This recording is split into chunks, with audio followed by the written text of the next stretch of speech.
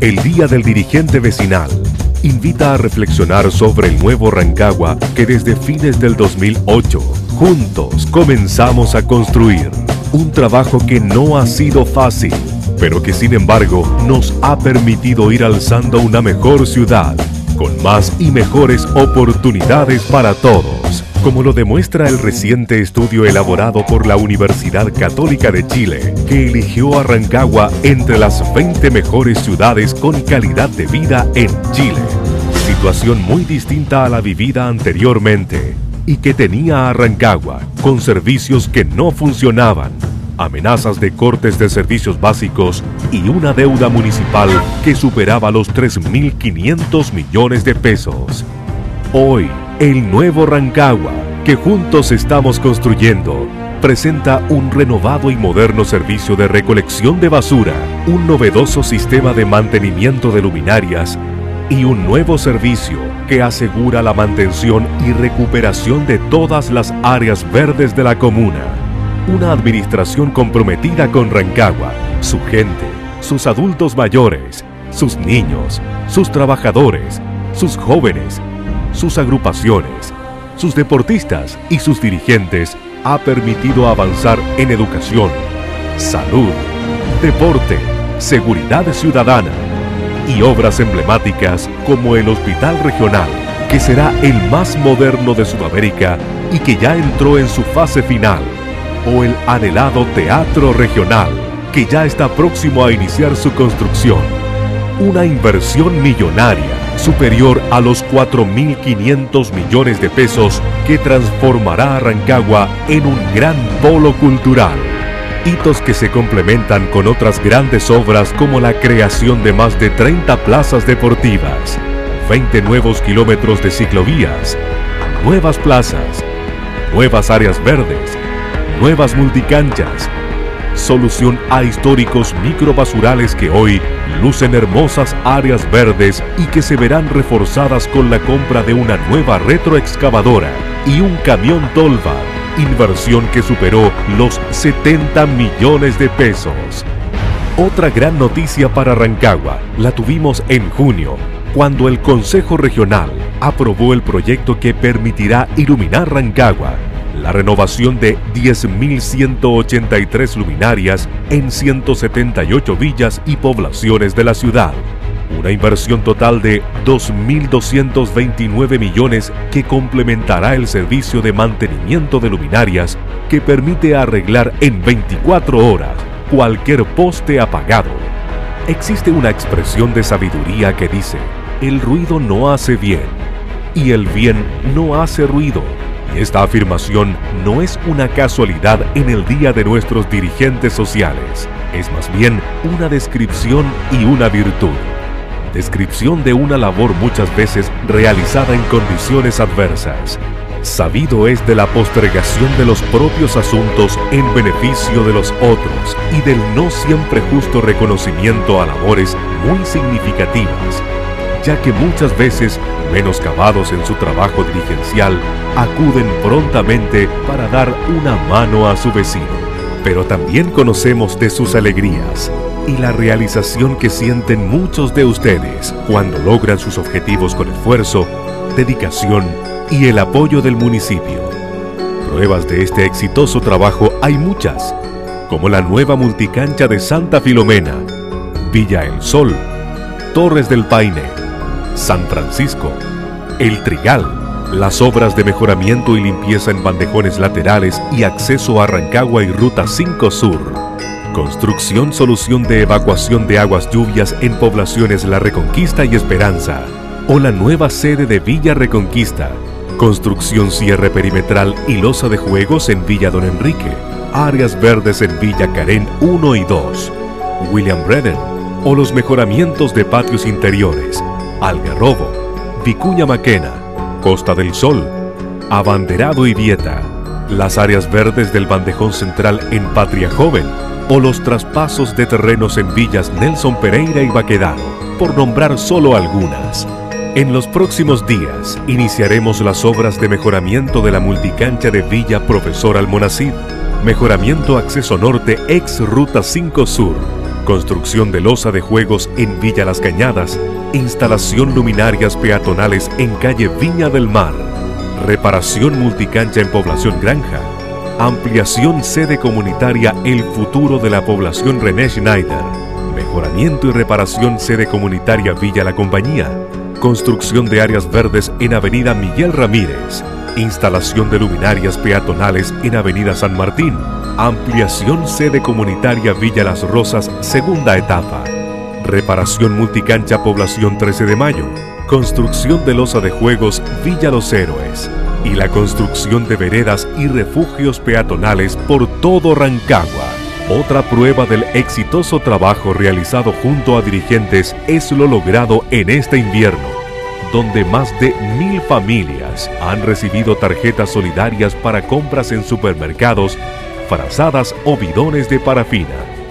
Este año continuamos con la entrega de subvenciones igualitarias a talleres laborales, centros de madres, clubes de adulto mayor, deportivos, y en noviembre de este año inauguraremos el primer estadio municipal de pasto sintético. Inversión municipal superior a los 440 millones de pesos que se construye en el estadio Guillermo Saavedra. Estas canchas de pasto sintético y sus ventajas se replicarán en el complejo Patricio Mequis y en dos sectores más de la ciudad. Rancagua es hoy una nueva ciudad una mejor comuna que crece en obras, inversión, calidad de vida, salud y educación. Rancagua, una ciudad de héroes en donde su gente es protagonista. Más de 20.000 rancagüinos disfrutaron de la fiesta del automovilismo en una nueva versión del Rally Móvil. 5.000 rancagüinos disfrutaron en familia de la primera corrida organizada por el municipio más de 8.000 rancagüinos disfrutaron del invierno cultural, música y teatro itinerante que durante tres meses recorrieron las poblaciones de Rancagua y más de 10.000 rancagüinos disfrutaron de la masiva fiesta por el Día del Niño.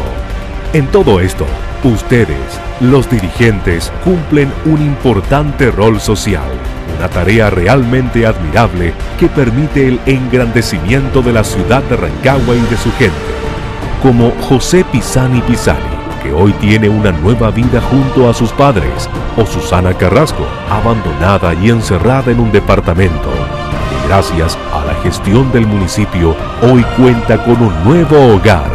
Ellos dos son el mejor ejemplo de una importante ayuda social que de manera anónima el alcalde y el consejo municipal realizan por la ciudad. Tenemos la convicción de que la participación ciudadana va a estimular y abrir cauces, ciertamente, y con sentido de país, en donde la construcción de futuro dependa un poco más de todos. Por eso, nuestro optimismo de que la calidad de nuestros dirigentes persevere en el tiempo y porque tenemos la convicción que podemos contar con las herramientas necesarias para avanzar y de continuar trabajando en conjunto.